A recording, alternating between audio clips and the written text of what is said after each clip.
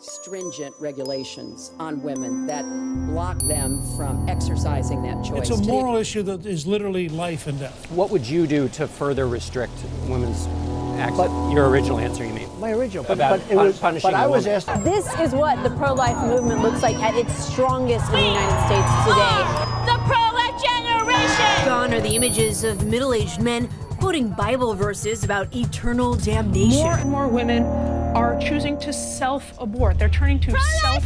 We cannot allow the opponents of life to continually weaken the moral fabric of our country.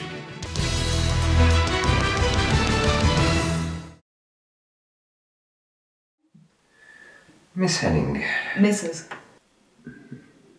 we can see from the ultrasound that it's masculum absecula, uh, more commonly known as underling. Underling. we're